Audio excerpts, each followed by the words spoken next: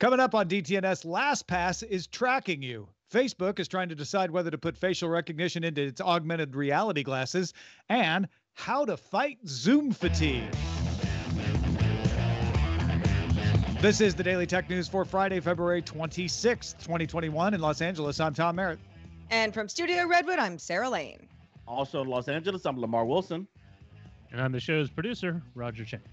Uh, we were just talking about taxes, but also fun stuff. I think we've invented a university. If you would like that wider conversation, actually, there's some really good tips on shooting video in there from Sarah and Roger. Uh, get our expanded show, Good Day Internet. Become a member at patreon.com slash DTNS. Start with a few tech things you should know. Bloomberg sources say that Sony will enable expandable storage on the PS5 by the middle of this year, activating the console's M.2 SSD slot and higher fan speeds. It's unclear what drive speeds and specifications external drives will need to meet to be compatible. Google introduced the Sleep API, which will analyze a phone's light and motion sensors on device, AI, to produce a sleep confidence metric at short intervals, as well as a daily sleep metric calculated after you wake up. Google hopes the API will save wellness app developers time when creating sleep tracking apps, and users must give the runtime permission before any apps can access the data so you have control over it. Telegram announced in a blog post that it's adding new features for iOS and Android to auto delete messages in any kind of chat. It was previously only possible to do that in encrypted or secret chats. Messages can be set to delete from either 24 hours to up to seven days after messages are sent after you turn the feature on. If there were messages previous to that, they're still going to be there. Telegram's also now allowing invite links that now expire and new support for unlimited groups. VMware issued a patch Tuesday for a remote code execution vulnerability in VMware vCenter Server for Windows or Linux. Within a day of that patch, a proof of concept exploit uh, was all over. There were about six of them, probably more. In the wild, researcher Troy Mursch of Bad Packets wrote on Twitter that mass scanning activity for vulnerable servers had been detected. The vulnerability has a score of 9.8 out of 10 uh, for severity on the common vulnerability scoring system. Users will need to update vCenter server immediately or implement recommended workarounds. Facebook's independent oversight board is binding when it makes decisions on moderation appeals, but its policy change recommendations need only to be considered. The oversight board made 17 policy change recommendations in, relate, in relation to its six moderation cases that it decided at the end of January. Facebook has said it will follow or consider 16 of the recommendations. Facebook will not follow a recommendation to change its definition of imminent harm, so it's not applied as often to misinformation about global health. All right, let's talk a little more about LastPass tracking us. Lamarr, are they looking at me now? They are. I'm also looking at you too. You look nice. All right. Thanks. Uh, Exodus Privacy analyzes how many trackers are used by Android apps. Its security researcher Mike Kuketz highlighted in a blog post February 20th that Lab, LastPass had seven. Exodus also found four trackers, each in Dashlane and RoboForm, two in Bitwarden, and none in 1Password. Kuketz said that the data tracked by LastPass included smartphone make and model and whether biometric security had, was engaged. LastPass told the register that the data was is used to improve the product, no personally identifiable information is collected, and users can opt out of the collection in events settings. Yeah. So if, uh, if, yeah, if it's zero tolerance, uh, this is good to know uh, for you, and and you can pick 1Password because it's the only one that's not going to track you at all. I personally don't have a problem with some tracking in order to improve the app. I get that like, hey, how people interact with the app is is generally useful in making a better app. So I went and I looked. I actually really like uh, Exodus's site where you can look and it will tell you what the tracking apps are, who runs them, what kind of data is collected. And the the only one from LastPass that raised my eyebrow is Mixpanel. Uh, Mixpanel can be used just to tell how an app is used, but can also be used for targeted messaging and advertising. And uh, granted, LastPass gives me the ability to go in and say, don't track me at all, which I will do. But uh, I don't love that they're using Mixpanel. Uh, nobody else is using Mixpanel of the others that I looked at. I don't mind the uh, the biometric security, seeing if that was engaged. I think that's a good thing, and maybe to ping me to say, "Hey, mm-hmm. we noticed that your i mm-hmm. you know mm-hmm. I, ios or, or in this case android uh, could be more improved you know here, you know because i know there's some apps like that now that say here here's five ways you can improve your security i think that's a good one uh, yeah, or it could help them with adoption. Like, ooh, only 30% of our users have, have used biometric. Let's see what we can do to make it easier. Yeah, yeah. Yes. Yeah. Yeah, exactly. Especially because as a LastPass user, I used to be a 1Password user, but it's all LastPass now. The company is pretty good about saying, here are some things we've noticed. You know, let's do a security check here. You know, that you might want to, you know, look at these two passwords that are a little bit similar, kind of thing. Mm-hmm. So, mm-hmm. so, so some basic hey we want to know if sarah's using an iphone and if you know there's biometric uh, security that uh, could be strengthened that doesn't bother me. But like you said tom it's all about okay well what what is tracking you and what could it do? And would this be you know at the at the very least annoying and at the very worst something that would be you know ca- cause you to change password managers? Yeah. And honestly if you're upset at lastpass for uh, moving the free tier into being split between platforms uh, like we've talked about this may make you go like well why would i even bother with whether they're tracking me properly or not when i could just switch to another one like bitwarden that only has two trackers or 1Password that has none uh, so I, I think it will push a few more people that that direction yeah I think so Smart speakers have trouble working for people who have trouble using their voices. Uh, atypical speech can arise for, for lots of reasons. Conditions like ALS, cerebral palsy, Parkinson's disease, uh, hearing loss, if just if you have a stutter sometimes these voice assistants can't work with that. There's lots of reasons. Wall street journal has highlighted some tech projects to improve speech recognition for these millions of people who have this issue with them. Google product manager julie Cattiau is collecting atypical speech patterns to improve training for voice recognition tools. And google's project euphonia is testing a prototype that lets people with atypical speech train their voice recognition system themselves. In fact those those two two are working together to help each other. In December, Amazon integrated its voice recognition system with Israel's Voiceitt. Uh, Voiceitt trains algorithms to work for people with a speech impairment. So it's self training, uh, but it's built specifically for people who have speech impairments. And Apple's Hold to Talk feature lets users control how long Siri listens before interrupting them, especially for people who take a long time to speak um, longer than normal, or maybe who have a stutter. Uh, that can be a problem where the voice recognition assistant gets impatient and interrupts you before you're done making your request. Uh, so Hold to Talk helps with that. Apple also published a study uh, that showed they used 28,000 audio clips from podcasters with stutters to train an algorithm to detect stuttering automatically, something that would also allow them to not even have to use the Hold to Talk, but could be used to improve Siri in other ways. Apple didn't say how they might use this, but uh, looks like there are some moves being made to address this complex issue. I love this.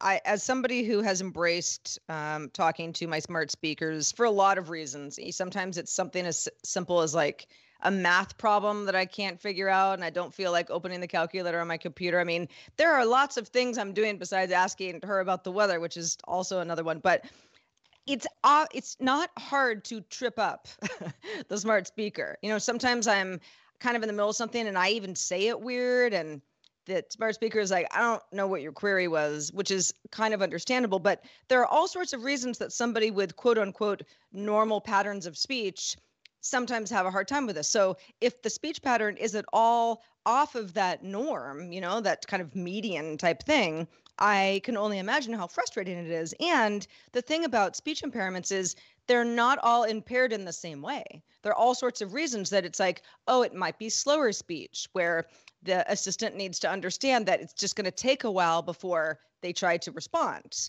You know, you don't have all your information yet, or something perhaps is a pattern of repeated words or words that, you know, are, are more of a staccato type of a thing.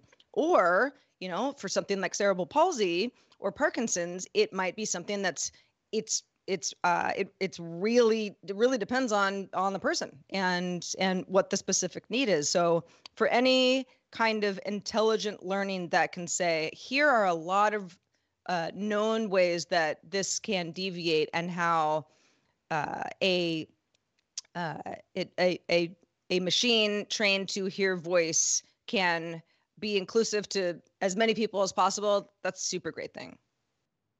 Yeah, I know how defeating it can be, even for myself sometimes to to try to say something to you know my HomePod and it just rushes in because I'm not I'm not fast enough. So you know just you know being able to even tweak that on on that or I love this hold to talk feature just for people who just talk slower. They're they're they're thinking about how they want to say it. It's already intimidating to talk to this digital machine to begin with, and uh, I think any type of improvements on that it's it's just kind.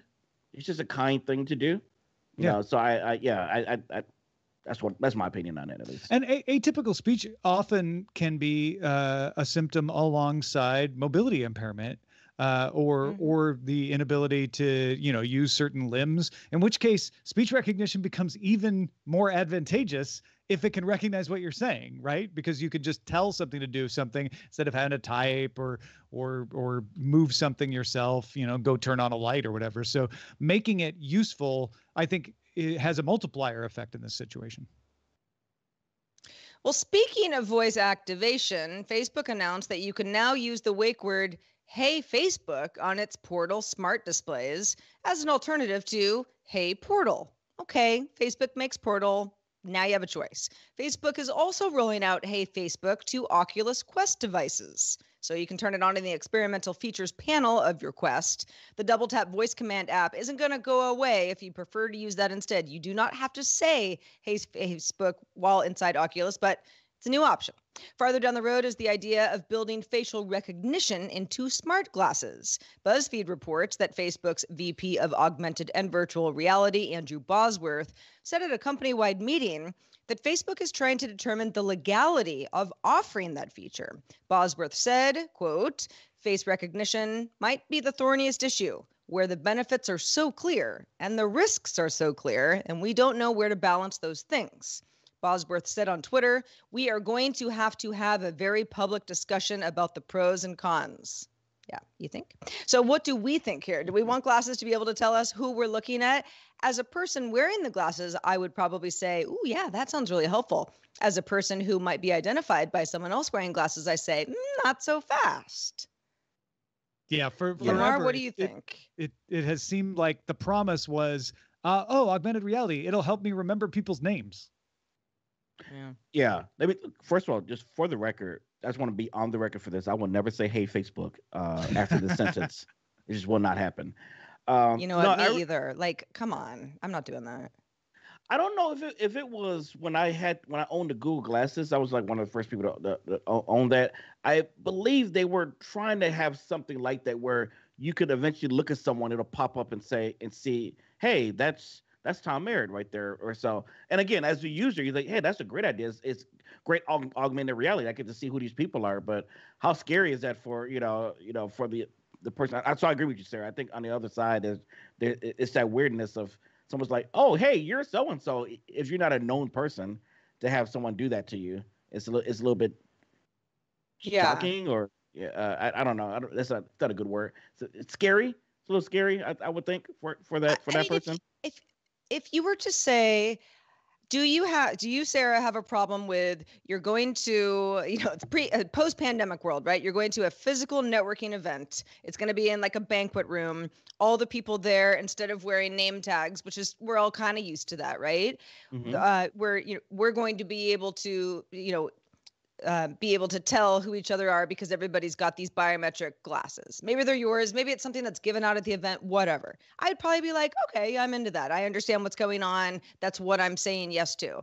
If it's just me walking down the street and any old person can like look me up online because they know my information, like that's totally outrageous. Of course, like that that's never going to fly with me. I'm like like disgusted at the thought. And of mm-hmm. course Facebook knows that. Facebook's not they're not going to give uh, you know, the world a pair of augmented reality glasses, and it's like, well, privacy is dead. Sorry, we're Facebook. You expected this yeah. from us. It's like, there's yeah. no way.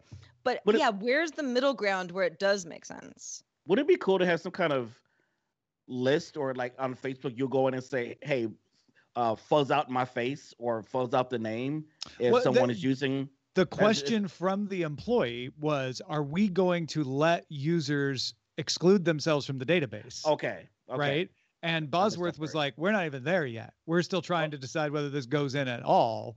Uh, gotcha, so, gotcha. so they're right there with you. I feel like all of this has to do with the fact that we none of us feel like we're in control of our data.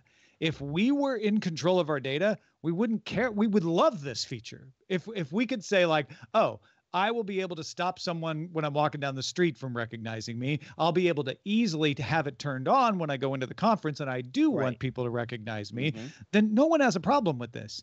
The the objection is I don't think I have that control. I don't know who does, and I certainly don't want Facebook to be making that decision for me. So, I mean, it gets to the root of the problem is we need to have user data control for these kinds of very useful functions to be trusted. This is really interesting. Yeah. Yeah, I don't I listen, I I don't want to say terrible idea, scrap it now Facebook. You're only going to get into hot water because I want those situations where it is beneficial to people as long as again like you said Tom that I I as a user would have full control of whether I have opted into this experience or not. You know, whether or not I have these glasses type thing because that's that's another issue, right? It's like if someone pays for like I don't know, somewhat expensive glasses, not going to be free. They they shouldn't be able to know who I am just because they got this cool tool type thing. I just I yeah, it's such a tread lightly type of a thing. Just very, I, I, very. I'm going to say it right now. Facebook, put your money where your mouth is, your virtual mouth, and join the uh, Inrupt project. Am I based on MIT Solid? And say we'll do facial recognition in augmented reality, controlled by you with a uh, an Inrupt container, and and and I'll I'll buy in. I'll be I'll be ready to do this. But until you actually join something like Inrupt or something else that's giving me control over the data, it's all going to be like, okay, you just want to try to trick me into giving me giving you information that I don't want to give you. That's going to be that's going to be the attitude. Yep, that's why no one owns a portal. Well, except for the one person in our audience who's like, I want a portal, but yeah, you know, exactly. rare. Oh, I, oh I'll, I'll, get the emails. I know. uh, hey, folks, uh, tell us if you disagree. If you're like, no, I want Facebook to recognize my face all the time. It's right there in the name, Facebook. Join in the conversation in our Discord, which you can join by linking to a Patreon account at patreon.com slash DTNS.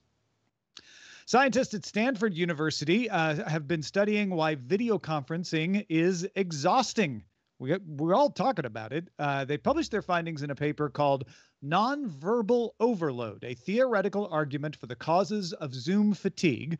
It's in the journal Technology, Mind, and Behavior. They looked at previous psychological studies that bear on the issue and proposed four main ways that video conferencing might tire you out. Number one, because you're doing extended eye contact because everybody's facing you. Unlike in a real conference room or a panel table, faces are larger, they appear close to you. That stresses you out. That's just a natural physical reaction. When you have a face in your face, uh, or when you can't feel like you can break eye contact, that's stressful. Number two, nonverbal signals like nodding require more effort to see and be seen in a video window. When you're normally in physical proximity with someone, you just nod naturally and you don't check to make sure they saw you, right? Number three, seeing yourself in the video box causes something called constant self evaluation. This has been studied in mirrors, and it's been shown to lead to negative emotions because the longer you look at yourself, the more likely you are to start critiquing your appearance. And number four, you tend to stay in one place when you're on a video conference so you can see the, so people can see that you're there and you're paying attention. Whereas in a real conference, you might get up and stretch your legs, get a glass of water, but everyone can still see you're still in the room listening. Uh, if you get up on a video conference, it looks like you left. So the scientist's next step is to gather more data to determine just how much of an effect these different elements have and use that to make some evidence based recommendations to help reduce exhaustion. However, the scientists do have some recommendations in the meantime while they refine those models. One, they say hide self view. You're just good, it's just going to stress you out. Uh, once, you know what you look like, don't look at yourself anymore. Number two, shrink the video window to make people smaller. Try making it about a third of the screen. That way you don't get that in your face effect. Uh, number three, spend time ahead of important meetings, making sure you like your shot and you're sitting in a comfortable position. That way you don't get tired out and you're not worried about it. Number four, turn off the camera during long meetings for five minutes just to give yourself a chance to get up and move around. Because if you turn off the camera, then it's not as clear that you're not there, right? It's just that the camera's off. Number five, work with your coworkers to make audio only meetings more frequent. You don't always need to be looking at each other. Uh, sometimes all you need is to talk, and that's less stressful. Yeah. I saw a funny tweet uh, about this study this morning. What was like Silicon Valley invents phone call. know, to sort of to sort of you know wrap this up, but really good points here. And I think that you know as I was going through these, I was like. I think I have to try slightly harder to imagine what this would be like if I didn't just do video what what's the somewhat equivalent of video yeah, conferencing right. every single day you know on a live you know program like like we're all really used to this so it's not that we're not affected by this on some level but much more desensitized you know if if we even think about it at all but the extended eye contact really resonated with me because yeah if you are you've got i don't know 10 coworkers y'all got to be in the meeting everyone's got their video window open it looks like nine people are interrogating you, right? They're yeah. all re- right there in a grid looking right at you. That wouldn't be the case in a meeting. You know, you're all around some sort of a, a, a table of some kind, you know, in some sort of a semicircle, whatever it might be. It is different. And that kind of, yeah, like who's who do I look at? You know, like I want to be mm-hmm. polite. Do I always look at the person who's talking, or am I kind of looking at myself again, being like, I look weird. Why do I look weird? And I can only imagine how distracting that is for folks who are like, I don't like this. This is new and uncomfortable for me. Yeah. So if you think this is difficult for adults, imagine children. Uh, I was I was yeah. thinking about this. I I left a classroom in 2006 and I was just I was thinking when I saw this, I'm like, my God, if, if I had to deal with this, well, I've been thinking about this all year because I've been check, checking in on some teachers and how stressful it is to have a, you know, teaching kindergarten or first grade with uh, uh, I, I mean, heck, even high school, just to have you know kids on the camera and having to deal with that, just how stressful it is on their end to you know because they want to move around and things. And and it, it's it's like these these are very helpful tips just for you know the kids themselves because I, I, know some teachers demand that the camera always stay on so they make sure they're there and it's, it's like you know but there's some that are a little bit more realistic. It's like hey you need to turn off the camera for a little while you know it's understandable. So I, I think i think doing a better study of this is good because i think for a lot of people zoom is not going anywhere. You know uh, even homeschooling might be a thing for a lot of people in the future yeah, after yeah. this uh, before we move on from this, uh, Zoom did announce a feature that doesn't look like it'll help with Zoom fatigue necessarily, but it will help with accessibility. Uh, this autumn, free Zoom accounts will get support for automatic English captioning, something the paid accounts already have. All the accounts are going to get it. if you're a free account holder who doesn't want to wait until the autumn, uh, you can even request it directly from Zoom right now. So you might want to go do that. Nice. Tell us about the USFCC. What are they up to, Lamarr? Oh, the, the thing had glitched on me. I apologize. the U.S. Federal Communications Commission approved an emergency broadband subsidy of up to $50 per month for low income households and up to $75 to households on Native American land, as well as a $100 discount on a computer or a tablet. Now, the program will be available within 60 days, although the FCC still needs to sign up ISPs. At least 18 million people in the U.S. still don't have reliable home internet connections. Uh, can I say real quick before you all jump in? I actually thought out of the what 330 million people there in the U.S. or so so, I thought it was much more than this. this well, this and it number. might and it might be the 18 yeah, million I, is counted yeah. by saying if one person in a zip code has a broadband connection, then that mm. entire zip code is counted as having a broadband connection or an internet. I don't connection. understand. I don't understand how that could be legal. Oh yeah, so like the 18 million has got to be a super lowball number then. Yeah. I mean, I mean I, it depends on your zip code, but very, very rarely a zip code is one household.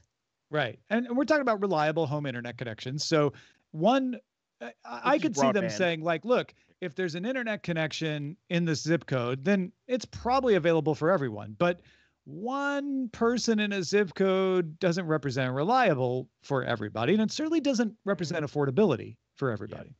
Yeah. yeah. My other point w- was this: this is a very positive story. Is I fifty dollars a month is is is a is a good number. You know, I I would love, you know, for the I know is one of those you know uh, socialist things maybe, uh, but one of you know where the government just hey if they got the money to take care of, of you know this many people, why not work to have you know public internet for everybody? You know I know that's a lofty thought, but fifty dollars, fifty to seventy five dollars is a is a is a lot. I mean we we probably pay that for our internet or more. I know I do. I pay 120 a month. We don't talk about that. Um, but but like the average household, that, that I mean that I, yeah. I just think there's there's some promise. There's a promise here. Oh, for sure. Yeah. I mean, yeah, for video streaming, I got to be uh, probably above that. But, you know, for years, I was around 50, 60 bucks, um, yeah. you know, for, for, for good internet. It definitely makes an impact. Well, let's talk about citizens reporting on other citizens or at least knowing what's going on in their general vicinity. Citizen is actually an app that provides info on local criminal activity. It's not free, it's actually 20 bucks a month, but it announced Friday that it's introducing helicopter tracking to the app. So if you happen to live somewhere where either infrequently or frequently there's a helicopter overhead and you wonder why, Citizen might help you figure it out. It tells The Verge it's already employing a 24 hour group to review 911 communications. That's kind of what the app does, but it's going to expand to also review police helicopter data. Citizen also lets users add their own videos and comments about an incident. So it's not just what everybody saw, it's a combination of the folks who live er, in the area and also police reports. And when possible, the citizen team says that they'll include a related incident for a helicopter spotting to give more context, such as an open missing persons report that may be connected to the fact that the helicopter has been over your house for the last 45 minutes. Yeah, if you don't live in an area that is not Los Angeles or, or uh, yeah. mostly Los Angeles, this is the first place I've ever lived where I have helicopters over my house. A helicopter went over my house earlier in the show. Uh, I don't know if you could hear it on the background of the mic, but uh, it happens oh, yeah, a lot here. Living in LA, you don't even yeah. hear it half the time. So, but you know where I live, I live in a rural area, but I'm near the Russian River. Uh, there's several bridges, and we get helicopters overhead I mean, it's not daily, it's not even weekly, but sometimes they're looking for somebody, or there might have been somebody who went over the bridge and they're caught in the river or something like that. It does happen. And I always kind of go like, well, I mean, I can't like wave down the helicopter and be like, "Hi, can I help?" But I am kind of curious, so I can see this coming in handy. I use Twitter for this uh, because there's some some, some, local yeah. Twitter accounts that that keep on top of this kind of stuff. Yeah. But when I saw that, uh, I don't really love Citizen, but when I saw that Citizen was doing this, I was like, "All right, maybe I have to look at it." But then when I saw it was 20 bucks a month, I was like, "No, I'm not I'm paying 20 bucks a month just to find out why that helicopter's over my house a little more." When I can go to Twitter and probably find out the same thing. Literally, Uh, but it. it's yeah. interesting. Yeah. Yeah. All right, let's sure. check out the mailbag. What do we got there, Sarah? Oh, we got a nice one from Norm. Norm heard our latest bonus show. We do those once a month uh, where we flash back to what the news was five years ago in whatever current month we're in. So our latest bonus show was February of 2016. And Norm says, I love them. I love the flashback shows. Very entertaining. Might get lost in the great content that you put out, but the monthly walks down memory lane I like. Any mention of what happened in February, in fact, February 29th, five years ago, makes me smile because it's my youngest daughter's birthday.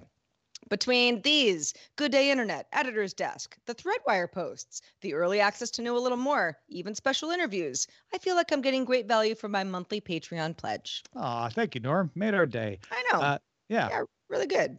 So if you if you're like, hey, how do I get those bonus shows? Uh, co-executive producer level or above on Patreon. Uh, they come out once a month, and we are literally looking at our rundowns from five years ago and going like, oh yeah, Apple was fighting the FBI encryption thing here, and and this this was the Apple rumor at the time. Did it end up being true? Uh, it's a lot of fun to do, and I'm glad Norm and others like it. Yeah, we have such a good time. I keep waiting for the point where we catch up to when I started doing the show full time. Oh right, yeah, we haven't got there. We yet. have more than a year to go, so you know, don't you know, don't hold your breath. But that'll be fun. Where I'll be like, I said that, didn't I? Yeah, yeah. This is turning to sound familiar. so this is uh, if you have. Fe- oh, go ahead. I'm sorry. No, no. I was going to ask you. You all, because I, I haven't seen these. You all don't. You're not just replaying that old episode. You're no, no. You're, we're we're we're looking it. at it and talking now from from our perspective oh, that's, that's five years later.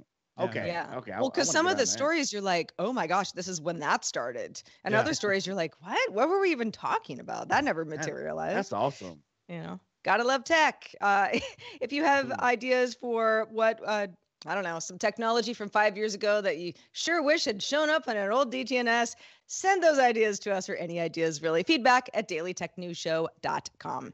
Also, like to shout out patrons at our master and our grandmaster levels. Today they include Dustin Campbell, Andrew Bradley, and Brad. Thanks to Lamarr Wilson also for being with us. Lamarr, always a pleasure. Let folks know where they can keep up with your work. Thank you. One central place, lamarr.tv. That's my new URL, Lamarr with two R's. Uh, I've started streaming on Amazon Live, if you could believe Amazon has streaming. I'm not talking about Twitch, Amazon Live. So, hmm. yeah, you want to yeah follow me there. Check check me out. It's really fascinating. I love it. Hey, if you like video and you want DTNS as a video podcast, uh, we have that too. You can get the video RSS feed at dailytechnewsshow.com slash subscribe. Folks, we're live Monday through Friday on video or audio. Do either. 4:30 p.m. Eastern, 21:30 UTC, and find out more at dailytechnewsshow.com/live. Back on Monday with Nicole Lee. Have a great weekend. Talk to you then. Bye. This show is part of the Frog Pants Network. Get more at frogpants.com. Diamond Club hopes you have enjoyed this program.